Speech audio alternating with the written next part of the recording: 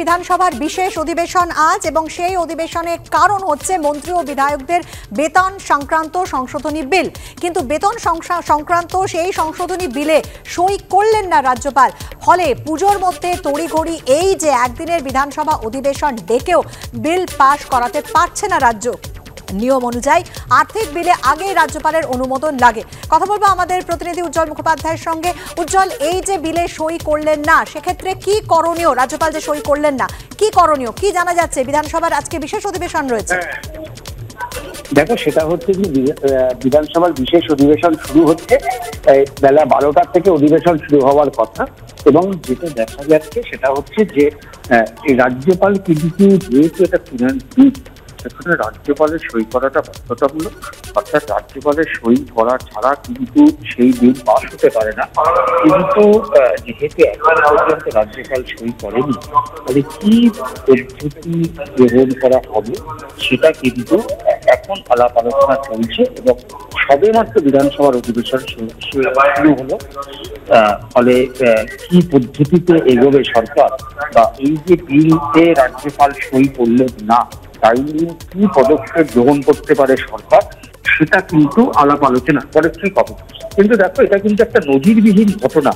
কারণ আজকে এই বিশেষ অধিবেশন ডাকা হয়েছিল একটাই কারণে, সেটা হচ্ছে মন্ত্রী এবং বিধায়কদের বেতন সংক্রান্ত বৃদ্ধির ব্যাপারে যে ঘোষণা মুখ্যমন্ত্রী করেছিলেন, সেটাকে কিন্তু কার্যকরী করতে গেলে অ্যামেন্ডমেন্ট বিল এনে কিছু সংশোধনী আনার প্রয়োজন রয়েছে।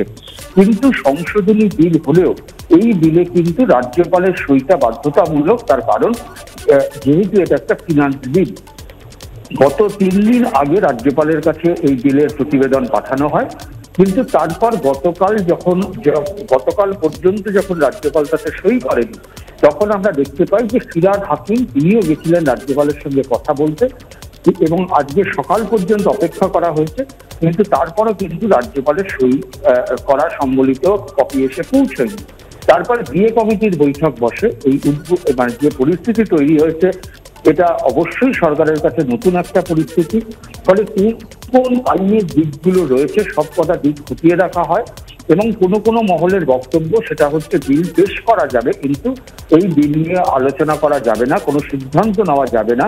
যেহেতু এটাতে রাজ্যপাল সই করেনি একেবারে উজ্জ্বল উজ্জ্বল তুমি আমাদের সঙ্গে থাকো আমাদের অপর প্রতিনিধির কাছে যাব কারণ যেটা জানা যাচ্ছে যে বিল পেশ করা হলেও তা নিয়ে আলোচনা হবে না।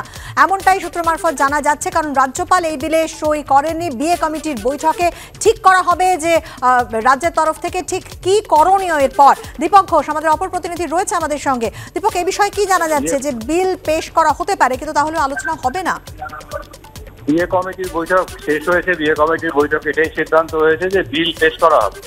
পেশ করা হবে, কিন্তু আলোচনা করা, সেটা নিয়ে ভোটাভুটি আলোচনা, এই প্রক্রিয়াটা যে রয়েছে, যেটা বিল পাস করার আগে যে প্রক্রিয়াগুলো রয়েছে, সেই প্রক্রিয়াগুলো নিয়ে এগোবে না বিধানসভা। শুধুমাত্র পেশ করা হবে, যেটা বক্তব্য কথা বলেছিলাম আমরা পরিষদীয় মন্ত্রীর সঙ্গে, তিনিও বললেন যে পেশ করা যাবে, কিন্তু সেটা নিয়ে আলোচনা করা, ভোটাভুটি করা, কিছুই করা যাবে না। যেহেতু ফিনান্স বিল সেহেতু এটা নিয়ে এগোতে হলে রাজ্যপালের প্রয়োজনীয় অনুমতি দরকার। তিনি তার কাছ থেকে এখনও পর্যন্ত, রাজ্যপালের কাছ থেকে এখনও পর্যন্ত অনুমতি আসেনি।